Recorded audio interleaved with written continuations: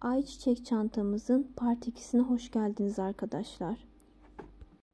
4 tane motifimi böyle koyuyorum ve dikmeye başlıyorum. Gösterdiğim şekilde karşılıklı trabzanlar birbirine bakacak şekilde ön yüzeyleri aynı yöne gelecek şekilde dikiyorum.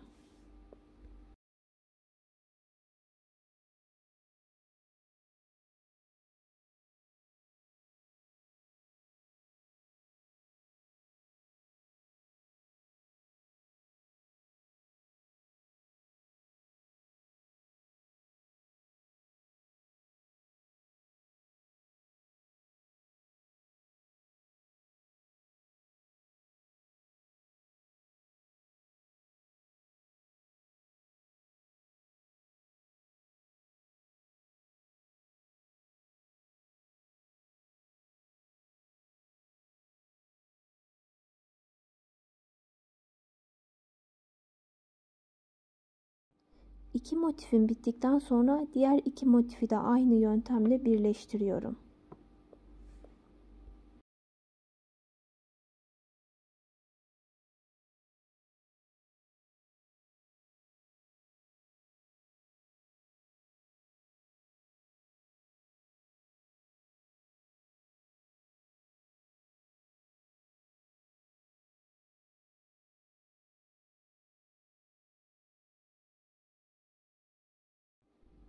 Dikme işlemi bittikten sonra arkasında düğüm atıp ipimi kesiyorum. Parmağımla gösterdiğim yeri dümdüz bir şekilde aynı yöntemle dikiyorum. İki ön yüzeyi birbirine bakacak şekilde trabzanlar aynı yere gelecek şekilde dikiyorum.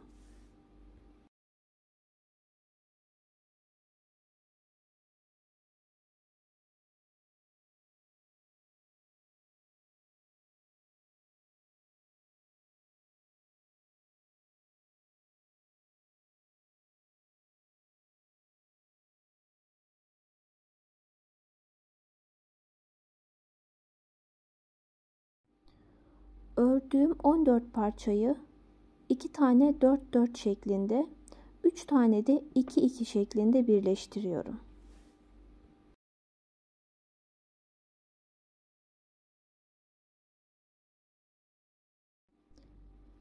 Astar olarak keçe kullanıyorum. Ölçü almak için önce dörtlü motiflerimden iki parça kesiyorum.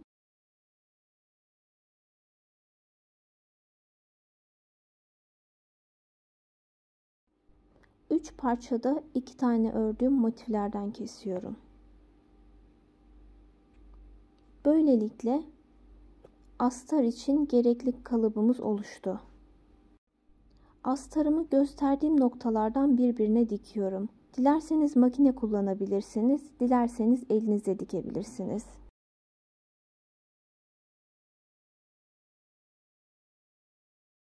Gösterdiğim kısımları diktikten sonra böyle bir kutu oluşacak. Örgümü üzerine yerleştirdiğimde tam olması lazım. Bu konuda dikkatli olun. Astarımın üzerinde değil motiflerimi ayrı bir şekilde birbirine ekleyeceğim. Tüm motiflerimi astarda olduğu gibi yerleştiriyorum. Ayrı olan noktalarını birbirine dikiyorum. Önce kenarlarını dikiyorum. Daha sonra tabanını dikiyorum.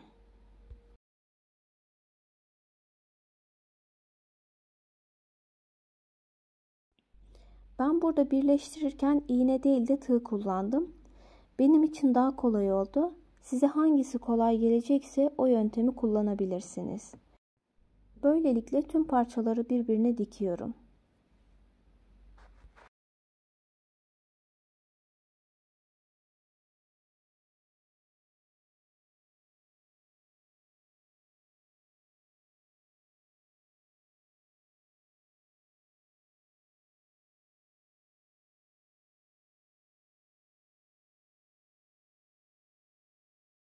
Tüm kenarları diktikten sonra tabanı da gösterdiğim yere birleştiriyorum.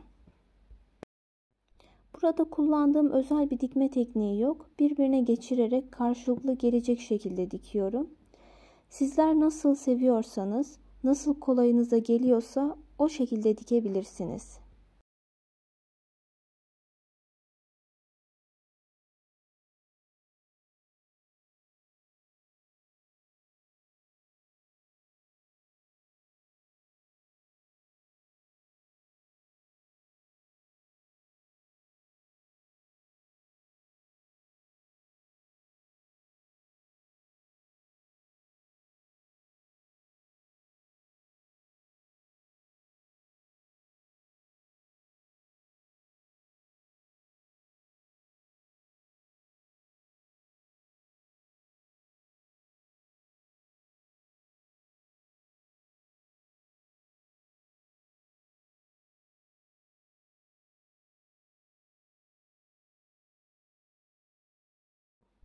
Çantamın birleştirme işlemi tamamlandığında içine astarımı deniyorum.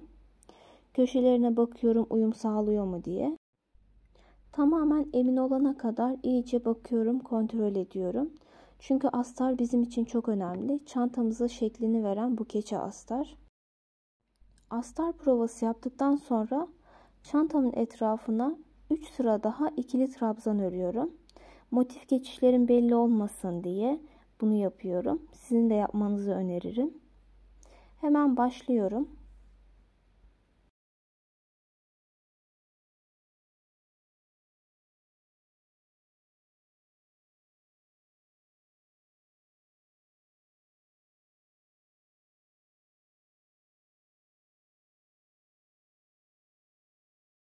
Üç sıra ördükten sonra çantamın sapını makrome tekniğiyle yapıyorum.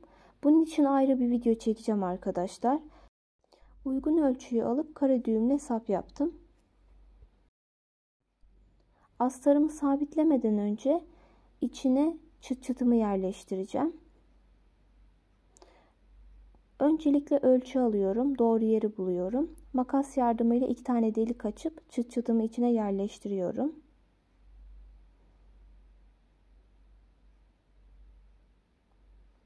Karşısının ölçüsünü de alıp aynı yöntemle iki delik açıp yerleştiriyorum. Bu mıknatıslı çıt çıtı tercih edebilirsiniz siz de. Şimdi çantamın sapını monte edeceğim. Sağlam olması için ince dikiş ipliğiyle dikeceğim. Gizli bir dikiş yapmaya çalışacağım. Çantamızın iç kısmını zikzak şeklinde sık dikişler yapıyoruz. Çantamızın uzun ömürlü olması için bu konuda dikkatli olun. Diğer sapını da aynı şekilde dikiyorum. Astarımın alt kısımlarını silikon yardımıyla yapıştırıyorum. Öncelikle güzelce içine yerleştiriyorum. Yamuk olmasın diye. Sonrasında birazcık aşağı indiriyorum ve taban kısmını yapıştırıyorum. Yapıştırırken düzeltmelere dikkat edin, kayma olmasın. Sonrasında yukarıya doğru çantamızı yapıştırmaya devam ediyorum. Burada silikon soğumasın diye azar azar yapıyorum.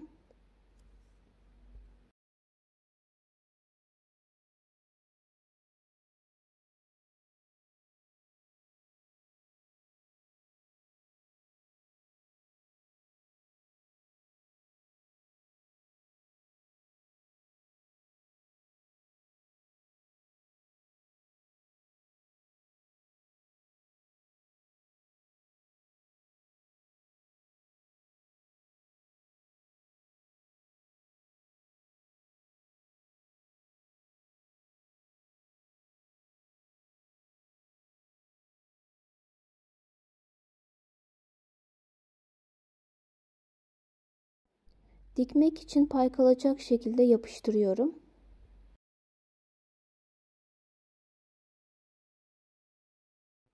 Son olarak astarımla motiflerimi birbirine dikiyorum. Sonradan kayma ve sarkma olmasın diye ince bir iplikle gizli bir dikiş yapıyorum.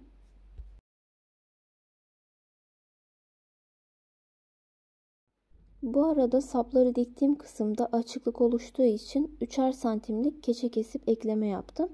Sizler dilerseniz yaparsınız, dilerseniz yapmazsınız.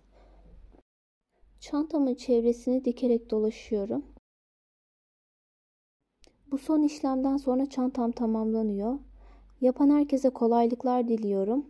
Videomu beğenmeyi ve kanalıma abone olmayı unutmayın. Sağlıkla kalın.